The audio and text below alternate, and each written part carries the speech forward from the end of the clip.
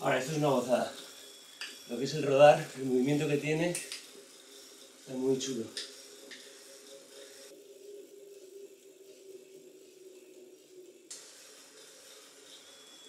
Una gozada. Súper suave. Súper, súper suave. Lo oyes, ¿no?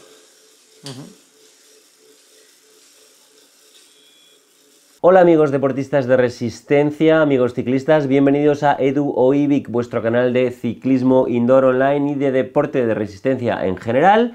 Os lo había prometido en el anterior capítulo en el que os hablaba que íbamos a sacar nuestra cinta de correr BH Mercury de 20 años de antigüedad para traer una tope de gama de BH Fitness, una cinta nueva.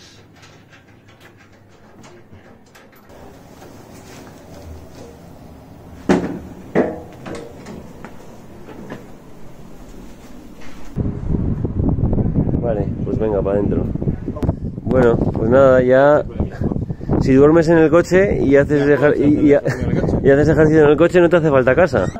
Bueno, ahí estamos quitando la cinta, aquí hemos hecho el hueco, pero bueno, os decía, en este capítulo anterior lo que venía en este capítulo y lo que venía en este capítulo es el Tax Neo 3M, el flamante y nuevo rodillo de Tax.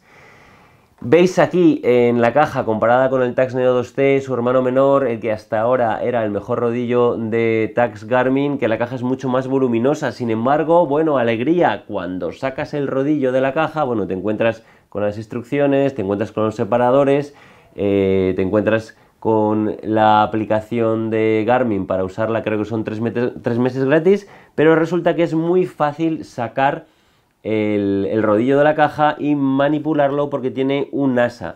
Es casi algo obligado lo que ha hecho Garmin aquí porque el rodillo pesa 30 kilos prácticamente, de hecho la caja pesa 30 kilos, el rodillo pesa un poquito menos y precisamente en 30 kilos las empresas de transporte hacen una distinción en cuanto al precio de envío de los paquetes, algunas ni siquiera lo envían, sobre todo a la Unión Europea, con lo cual Garmin sabe lo que hace al dejar la caja en 30 kilos, aquí la empresa de transporte la ha medido y la ha pesado, lo sé por las pegatinas de la caja, y han visto que sí, que efectivamente Garmin sabe lo que hace. Con lo cual, sí, es pesado, sí, es estable, pero es fácil de manejar. No como el Tax Neo 2T, que una de las pocas pegas que tiene ese gran rodillo es que mm, se maneja un poquito más difícil, no tiene asa y es un poquito de incordio.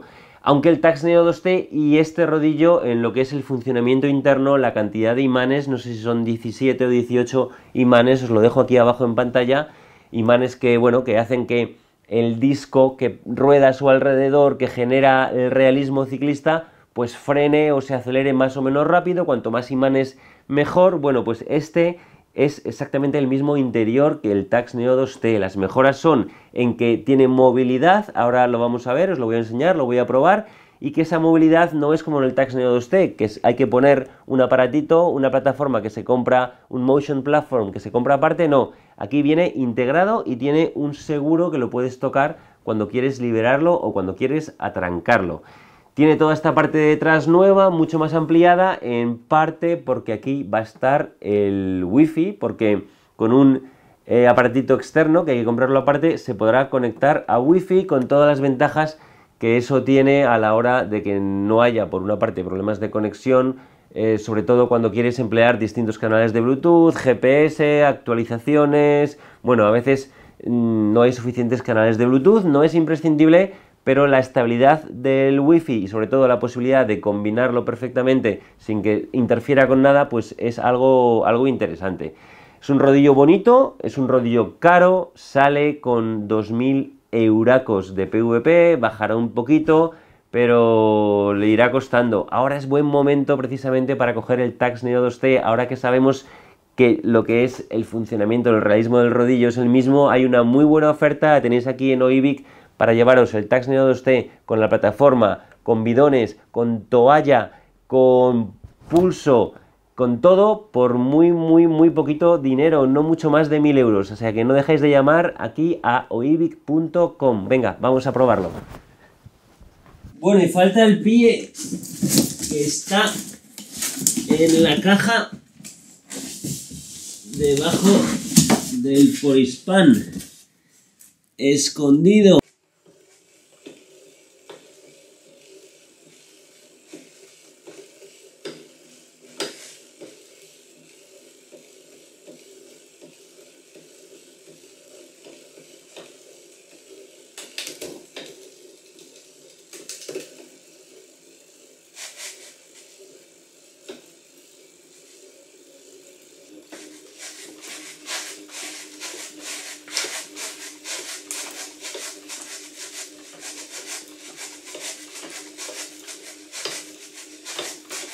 Eh, para soltar, ¿ves? Y para agarrar hay que girar los dos, ¿vale? Los dos, y ya queda fijo. Yo soy bastante amigo de, llevar el rodillo fijo, mm, eso para gustos. Me gusta el, mucho el lateral, pero yo no soy tan amigo del frontal, sobre todo porque no soy amigo de llevar el pie. Y he estado probando, puedes quitar perfectamente el pie cuando vayas a dejarlo suelto, es como si fueses bajando un 2%, una pendiente de un 2%. Incluso puedes conseguirte una tablita, vas a tenerlo en un garaje o en algún sitio, una tablita que te mida mm, esto, lo pones grande ahí, una, en el Aero Merlin, lo pones para cuando lo lleves delante, vas a ir mejor con una tabla grande, que la dejes tú aquí apoyada así, que sea, ¿sabes? Una cosa grande, que no para mi gusto con el pie, porque el pie al fin y al cabo todos, ¿eh? Da igual que marca, si quieres, eh, sácalo. Los pies, sobre todo cuando hay movimiento, a mí no me terminan de convencer. No me terminan de convencer. Porque cuando vas de pie y vas metiendo gatios y tú vas haciendo fuerzas hacia los lados, ¿ves?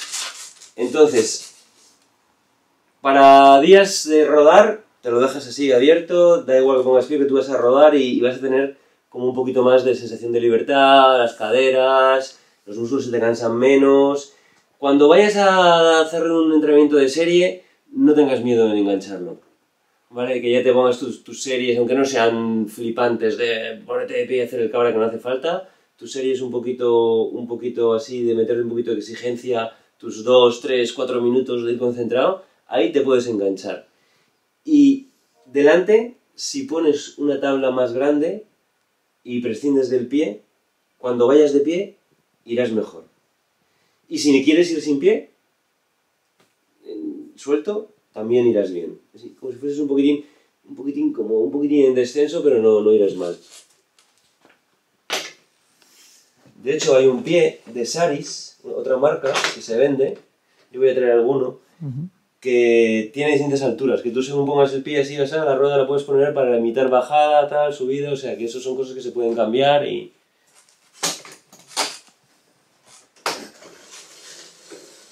Vale, ya ves que no está enchufado, porque esto no hay que enchufarlo. Si quieres enchufarlo, lo enchufas.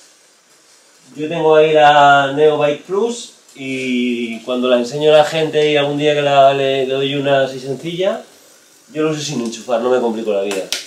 La diferencia es que sin enchufar, el descenso de bajada no es tan realista. Entonces, si vas bajando un 10%, en realidad es como si fueses bajando una, una pendiente menor y coges menos velocidad. La velocidad que te marca aquí es menor.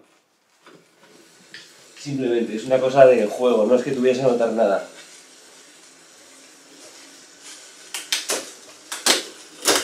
Voy a meter un poquito de pie para que veas.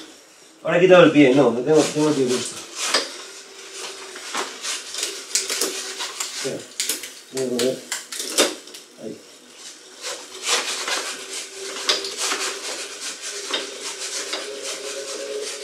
¿Ves? Ahora voy a 370 vatios, son muchos, 400. ¿Ves? Y es cuando yo ahí prefiero a partir de 3 150 vatios, engancharlo, ¿vale? Cuando tú veas que haces esfuerzo que te mueves en más de 350, enganchalos.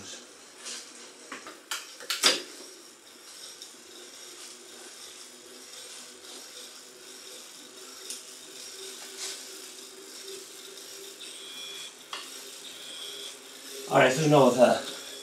Lo que es el rodar, el movimiento que tiene, está muy chulo. Lo ves, ¿no? Cómo te permite...